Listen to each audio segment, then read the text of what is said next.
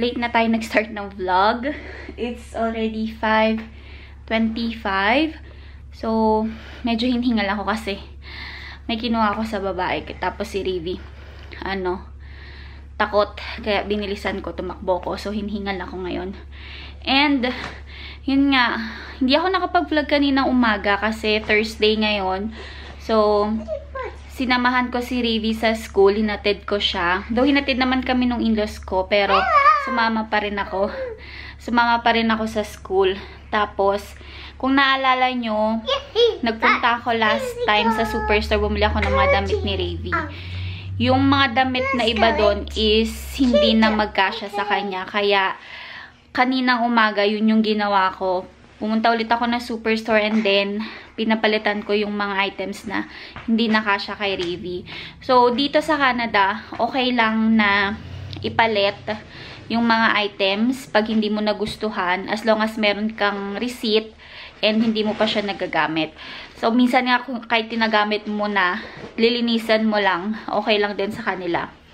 So, yun. So, papakita ko lang sa inyo kung ano yung mga pinapalitan ko na damit nung hindi ko na matandaan kung, kung ano, ano yung mga yung mga napalitan ko pero andito yung ibang items na nabili ko. Sobrang konti lang yung nabili ko ngayon kasi yung pinalit ko kasi nga ano, iba na yung prices. Yung mga clearance before, naubos na. Kaya, ngayon, iba na yung mga prices. Medyo mas mahal na ngayon. Pero clearance pa rin siya. So, pakita ko sa inyo, guys. So, ito pa rin yung bag na gamit ko kanina nung sinoli ko. Yan, superstore pa rin siya, syempre. Tapos, andyan yung mga items na pinalit ko. So, ang ipapakita ko na lang sa inyo siguro yung mga pinalit ko.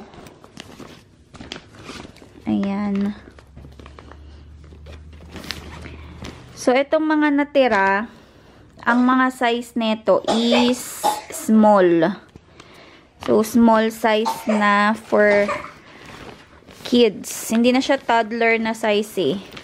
Kaya, pinalitan ko. Kesa masayang, ba diba? So, pinalit ko na lang. So, eto yung short. Ayan. Red ang color. And then, meron lang siyang leaf dyan. So, this one is 8.94. Ang original is 12. Okay. Tanggal mo. So, pakita ko pala sa inyo guys yung slipper na nabili ko. Kasama yan sa pinalit ko. Wait, ayan. Usa. So, that is size small din. Ayan. Sobrang cute lang kasi malamig na nga dito. Kaya ito ang binili kong uh, slippers ni Ravi. Yung slippers niya na Under Armour, medyo malaki kasi ayaw niya suotin. Nadadapa siya. Kaya ito na lang ano, papasot ko sa kanya. So, yan. Cute naman din siya. And, sinusuot naman niya. Tapos, I think yun is $14. Tapos, what are you doing, Davy? May kiliti siya dun sa fur-fur na ano, na slippers. So, this one, hindi siya sale. So, $12. Ayan. Purple. Meron silang ano, wear purple. So, ayan, meron na siyang susuotin. Tapos, ito. Mom, Yes, baby. I want swim. Okay, wait lang. Hooray for Saturday mornings. Ayan. Tapos, meron siyang uh, terno na short. Tapos, bukod pa dito sa terno na short tsaka t-shirt, kasama din yung etong sando. Ito, mura na to. 8.94 ang price niya. Ang original is $19. So, ayan. 3 piece na set. Tapos, ito, same price, $12. Yung isa purple, ito blue-green. So, ayan. inaanohan ko na ulit si Rivi ng mga long sleeves kasi nga malamig na dito. Tapos, eto yung last na nabili ko. This one is $19 ang original. Nabili ko ng $6.94 medium size. Eto, pambahay ko to. Yan, sinukat ko na siya kasha. Tapos, eto, nagpunta ako kanina sa Urban Planet. Bumili ako ng dalawang um, long sleeves. So, ito, very warm siya kasi, alam mo yung parang turtleneck na maluwag. This one is $19.99. Nabili ko lang siya for $10. 50% off. Ganun din yung isang nabili ko. Kaya nilaban ko na kasi naglalaba ko ngayon.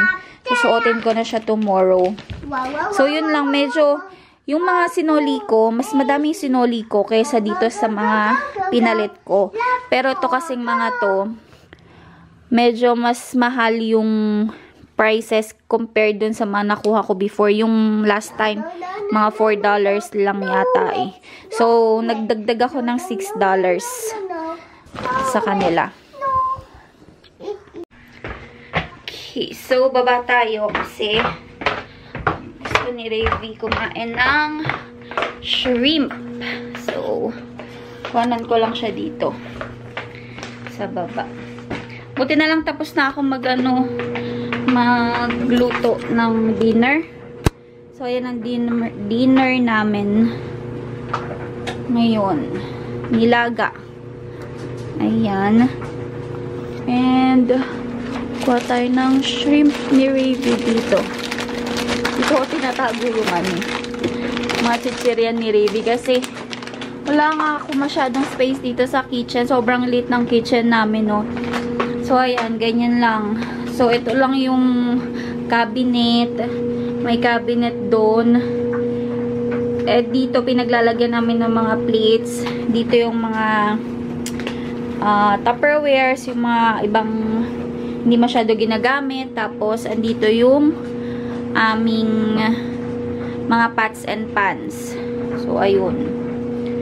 Sobrang liit lang ng kitchen namin dito sa basement. Kaya, wala akong masyadong mapaglagyan ng mga uh, groceries or yung mga kung ano pa yung mga dapat kong ilagay. So, ayan. Ito yung shrimp na sinasabi, sinasabi, sinasabi ni Ravi. Ayan.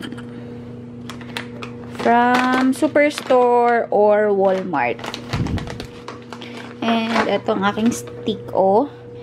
Ang stick o na binili sa akin ng aking husband. So, yan, sobrang laki kaya hindi ko pa siya nauubos. Siguro mo one week na to sa akin. So, yun. Nakit muna tayo kasi si Ravi kakain ng shrimp. Ravi, where are you?